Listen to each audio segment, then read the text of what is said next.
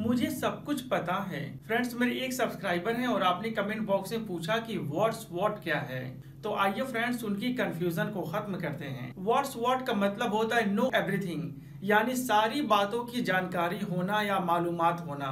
जैसे अगर आपको कहना हो कि मुझे इसके बारे में सब कुछ पता है, यानी हर बात पता है तो इस सेंटेंस के लिए आप कहेंगे I know this what's what यानी मुझे इसके बारे में सब कुछ पता है कि ये क्या है, क्या नहीं है। मुझे कुकिंग के बारे में सब कुछ पता है, या सारी बातें पता है कि कुकिंग कैसे की जाती है।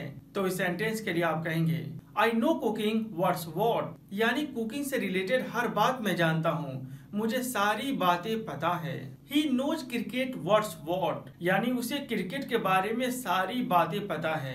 उसे सब कुछ पता है कि क्रिकेट कैसे खेली जाती है या क्रिकेट का क्या रूल्स हैं। I know teaching words what यानी मुझे टीचिंग के बारे में सब कुछ पता है। मुझे पता है कि कैसे पढ़ाया जाता है। या पढ़ाने के लिए क्या चीज़ ज़रूरी है? मुझे सब कुछ पता है।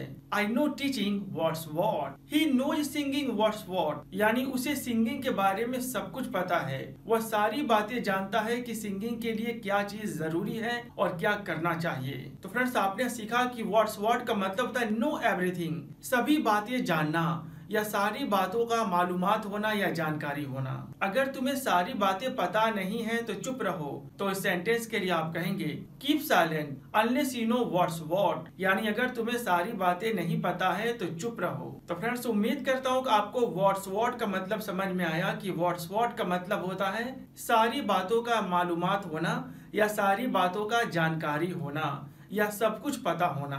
तो फ्रेंड्स अगर वाकई आपने इस कंसेप्ट को समझा तो क्या इस टॉपिक पर कुछ सेंटेंसेस कमेंट बॉक्स में लिखेंगे? कुछ सेंटेंसेस कमेंट बॉक्स में लिखे ताकि मैं चेक करके बता सकूँ कि आपने सही सीखा या गलत। फिर मिलेंगे कुछ और अच्छा लेसन के साथ। तब तक के लिए बाय